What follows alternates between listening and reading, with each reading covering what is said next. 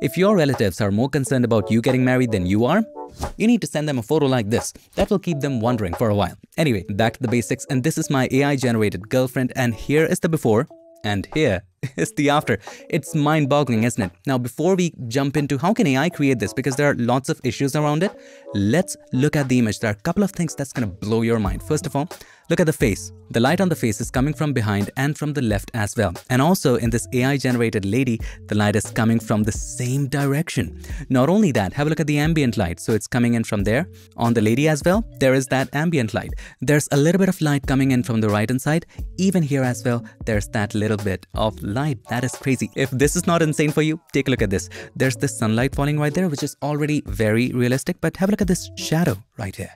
Now, take a look at the head. It is in direct line with that of the head. If the subject was standing right there and if the light was just that way, the shadow would be exactly that way, which is just bonkers. Now you might be wondering, how did AI create all of this? First of all, there are a lot of issues, right? Because if you upload a face to DALL-E, it just would not accept that. Secondly, if you try to generate a face in AI platforms, it creates things like this. So how can we create something like this? It is very possible. Let me show you. First of all, this is a brand new fresh email that I got from OpenAI just 13 hours ago that said you can now upload and edit photos with faces on DALL-E. So why not take advantage of it? Now this opens up a lot of possibilities in DALL-E, removing people, adding people, changing features of people. We're gonna discuss all that in this video. So let's start with adding that girlfriend. It's already cropped properly. Click on crop, click on edit image, erase the side or sides where you want your girlfriend to be. And depending upon whether you want your girlfriend to keep your arm on you, you can erase those areas as well. And let's describe the entire image. Man taking a selfie with girlfriend and click on generate. And there you go. These are my girlfriends. Interesting faces. So couple here.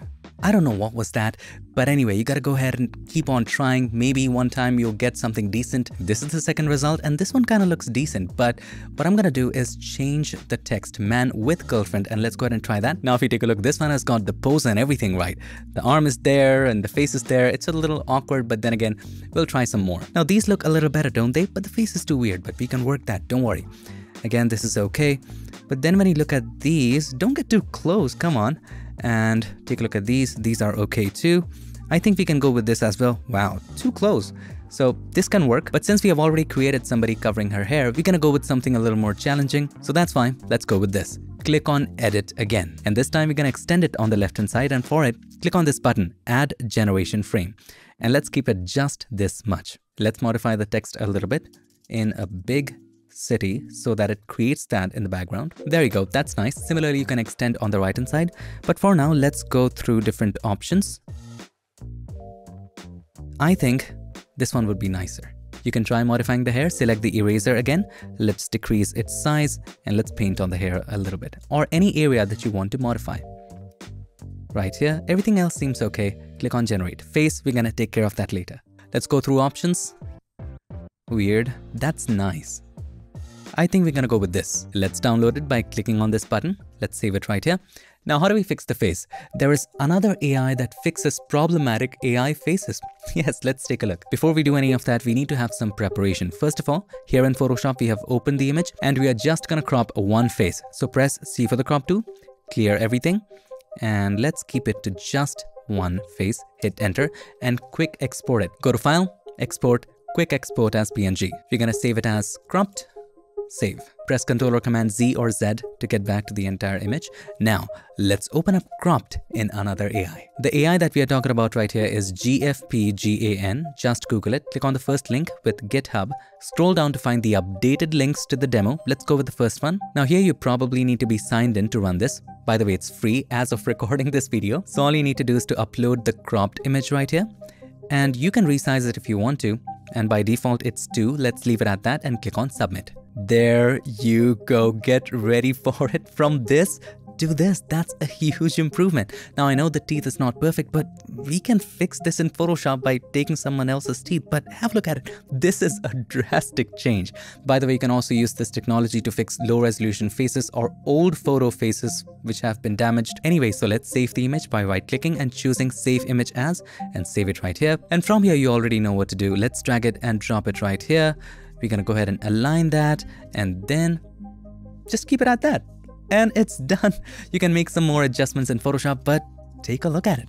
there you have your girlfriend or boyfriend or whoever you want. Now, since faces are now allowed, there are plenty more complicated things you can do. For example, let's say you have a group photo with a lot of people hanging on to each other and you want to remove someone.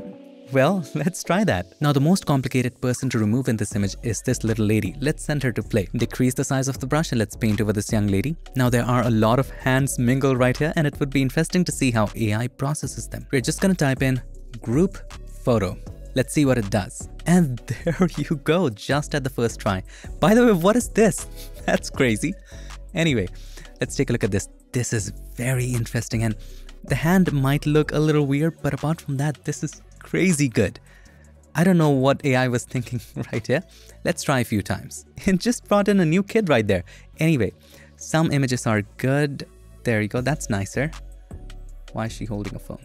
Anyway, so this is nice. And in the previous one, I liked this one. So if you like this one, you can click on edit one more time. And if you don't like the hand right there, you can fix that as well. So let's decrease the brush size and let's paint right over there. And let's generate again and it should be fine. There you go, lots of better renditions. So this is a little better. Or maybe the original was better. Let's look at the original one. I think we're gonna go with this. This is the one that I had also generated. Take a look. This has also created a wonderful result.